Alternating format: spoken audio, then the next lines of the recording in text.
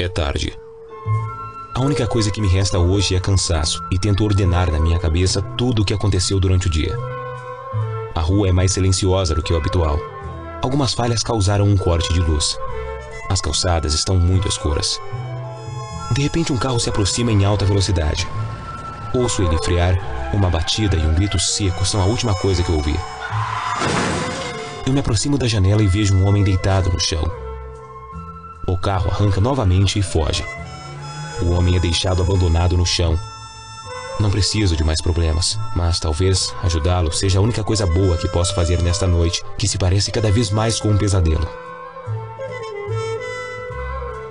Acho que ligar para a emergência será mais do que o suficiente. Vou observar pela janela até que o pessoal de emergências chegue. No entanto, poderia ligar para a emergência e ir ao lado do lesionado para evitar que piore. Embora talvez não precise ligar para a emergência, eu sei de primeiros socorros. Acho que posso assumir os cuidados.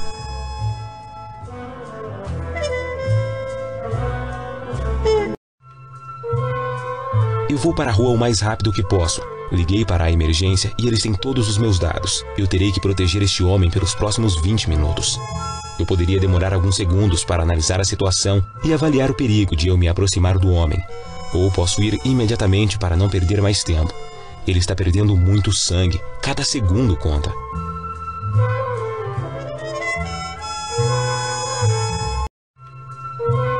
A escuridão é tão profunda que a única coisa que percebo é o cheiro de sangue na calçada. Um carro não nos veria com tempo suficiente para frear.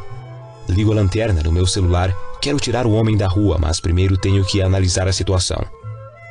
O homem sofreu um grande golpe na cintura. Está consciente e não para de reclamar. Ele tem uma ferida no braço e um vidro incrustado na perna. No meio da rua corremos muito perigo. Claramente não é um homem que possa ser chamado de pequeno. Tem pelo menos o dobro do meu peso. De repente, um carro chega.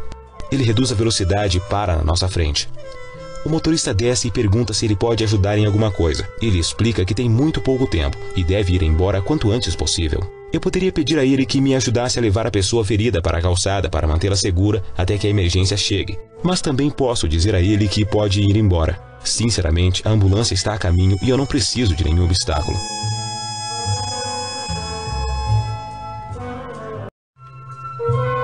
O homem me avisa que temos duas opções mover o ferido com nossas mãos, somando nossa força ou procurar algo que facilite seu deslocamento.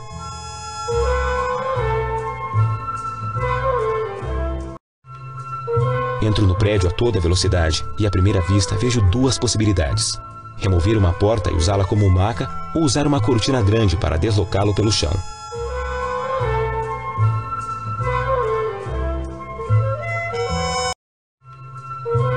Porta é perfeita para seu deslocamento.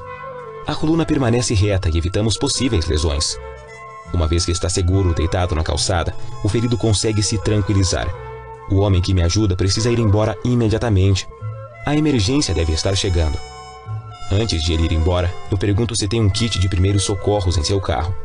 Ele procura por ele, mas só encontra luvas descartáveis. Não é muito, mas elas serão úteis para mim. É hora de cuidar de suas feridas. Em uma delas tem um vidro incrustado, na outra apenas um corte. Em ambos perde sangue. Poderia parar o sangramento e deixar que a extração seja feita pela pessoa de emergências, embora talvez possa remover o vidro para poder curá-lo melhor.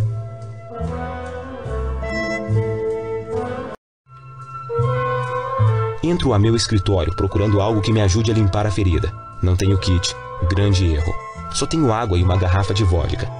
Posso usar a água para limpar a ferida e esperar o pessoal de emergências para que faça a desinfecção. Ou poderia usar a vodka, já que tem alto teor alcoólico com o qual eu posso desinfetar a ferida imediatamente.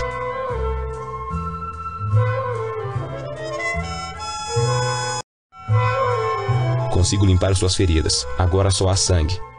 Eu poderia parar o sangramento apertando com minhas mãos, desde que eu tenho luvas, ou posso usar minha camisa limpa para pará-lo.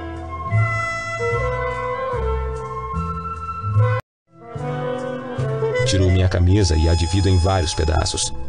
Uso os menores para poder parar o sangramento. O homem reclama pela dor, mas eu explico que devo pressionar durante pelo menos 5 minutos para parar o sangramento. Quando consigo parar o sangramento, uso pedaços maiores da camisa para fazer compressas e evitar que as feridas sangrem novamente. Tudo está em calma. Eu ouço a sirene se aproximando pela rua. Em questão de segundos, este homem estará nas mãos de profissionais e finalmente poderei descansar.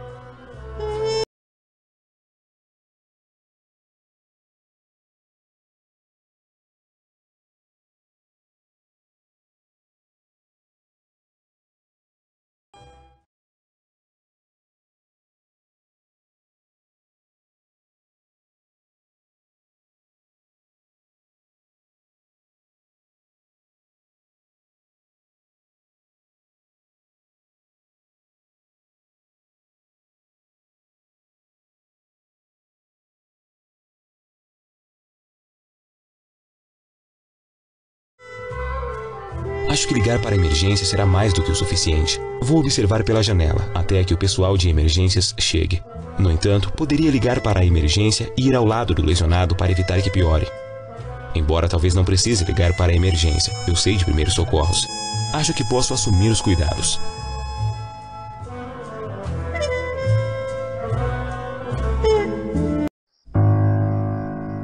O homem está deitado no chão, Outro carro chega antes da ambulância e quando percebo o meu erro é tarde demais. O motorista não consegue ver o homem e acaba atropelando-o.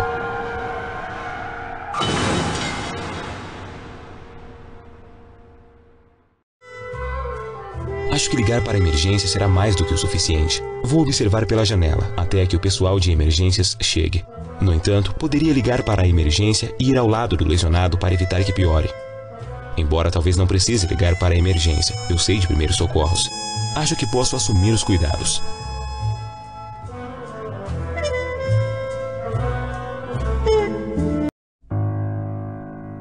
Tudo começou como eu imaginava. Tudo corria bem, mas aos poucos perdi o controle da situação. Vendo que piorava, liguei para a ambulância, mas já era tarde demais. O homem morreu sangrando em minhas mãos.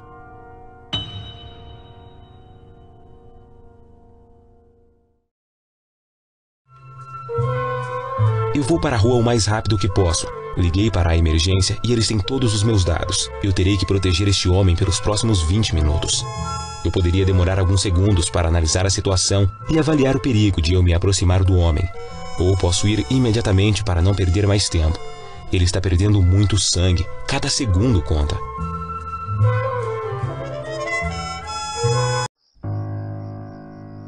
A escuridão é muito profunda. Eu escorrego com sangue e caio no chão. Estou imóvel, não entendo o que aconteceu. Ouço como um carro se aproxima em alta velocidade. Acho que não nos verá a tempo.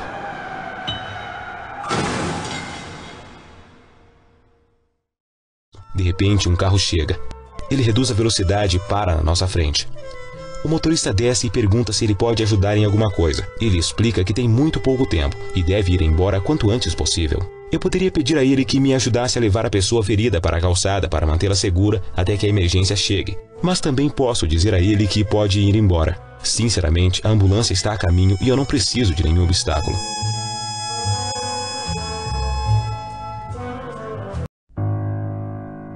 O carro se afasta. Uso todas as minhas forças para mover o homem, mas sem perceber eu faço um mau movimento. O esforço me produz uma lesão e fico deitado no chão. Agora só posso esperar a chegada da pessoa de emergência para que nos ajude.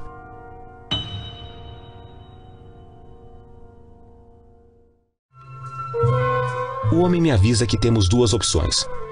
Mover o ferido com nossas mãos, somando nossa força ou procurar algo que facilite seu deslocamento.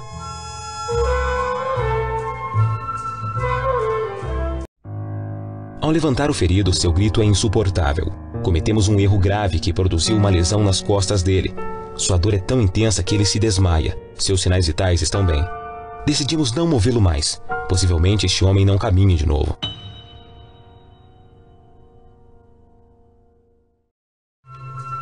Entro no prédio a toda velocidade e à primeira vista vejo duas possibilidades. Remover uma porta e usá-la como maca ou usar uma cortina grande para deslocá-lo pelo chão.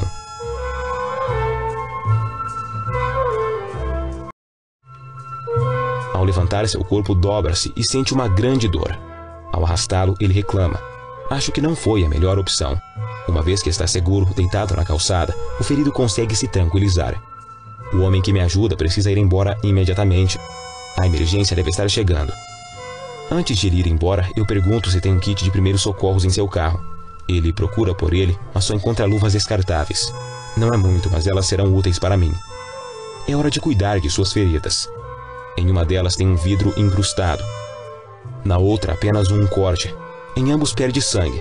Poderia parar o sangramento e deixar que a extração seja feita pela pessoa de emergências, embora talvez possa remover o vidro para poder curá-lo melhor.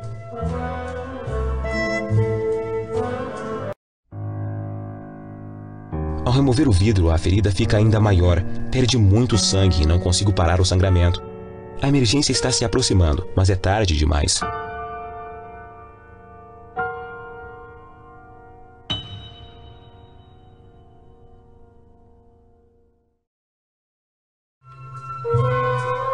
Entro a meu escritório procurando algo que me ajude a limpar a ferida. Não tenho kit. Grande erro. Só tenho água e uma garrafa de vodka. Posso usar a água para limpar a ferida e esperar o pessoal de emergências para que faça a desinfecção. Ou poderia usar a vodka, já que tem alto teor alcoólico com o qual eu posso desinfetar a ferida imediatamente.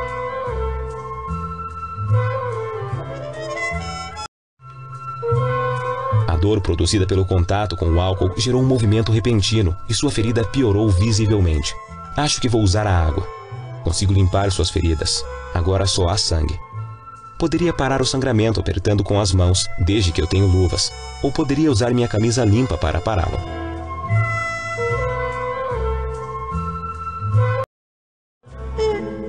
Eu não posso parar seu sangramento, mesmo quando eu estou aplicando muita força. Devo usar minha camisa. Tiro minha camisa e a quebro em vários pedaços. Uso os menores para parar o sangramento. O homem reclama pela dor, mas eu explico que devo pressionar durante pelo menos 5 minutos para parar o sangramento. Quando consigo parar o sangramento, uso os pedaços maiores da camisa para fazer compressas e evitar que as feridas sangrem novamente. Tudo está em calma. Eu ouço as sirenes se aproximando pela rua. Em questão de segundos, este homem estará nas mãos de profissionais e finalmente poderei descansar.